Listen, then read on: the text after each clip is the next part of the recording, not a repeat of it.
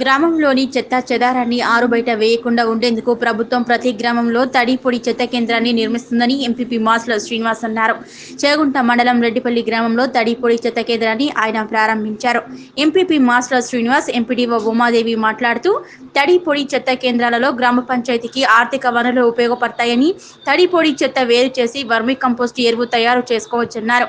గ్రామంలోని ప్రతి ఒక్కరూ చెత్తను ఆరు బయట వేయకుండా ఉదయం పూట వచ్చే చెత్తబండిలో వేసి గ్రామాన్ని పరిశుభ్రంగా ఉంచుకునే విధంగా చూసుకోవాల్సిన బాధ్యత గ్రామస్తులు అందరిది అన్నారు. ఈ కార్యక్రమంలో sarpanch Lakshmi AMC chairman Praveen Kumar society chairman Mekala Paramesh MPO Prashanth panchayat కార్యదర్శులు వార్డు సభ్యులు గ్రామస్తులు తదితరులు పాల్గొన్నారు.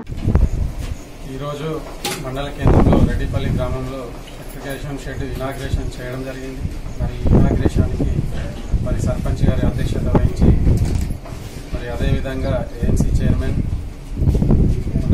అధ్యక్షుడు వెంగళరావు గారు మరి అధికారులు ఉప సర్పంచ్ వార్డు మెంబర్లు అదేవిధంగా అందరూ ప్రజాప్రతినిధులు అధికారులతో ఈరోజు ఇనాగ్రేషన్ చేయడం జరిగింది. చేగుంట గ్రామంలో చేగుంట మండలంలోని ఇరవై ఎనిమిది గ్రామ పంచాయతీలకు గాను దాదాపు పూర్తి స్థాయిలో అన్ని కంప్లీట్ వచ్చినాయి. ఒక నాలుగు పెండింగ్ ఉన్నాయి. అవి నాలుగు కూడా ఈ రెండు మూడు రోజుల్లో కంప్లీట్ అవుతాయి. ఈ రోజు రెడ్డిపల్లిలో ఇనాగ్రేషన్ చేసుకోవడం జరిగింది. తడి పొడి చెత్త కేంద్రాన్ని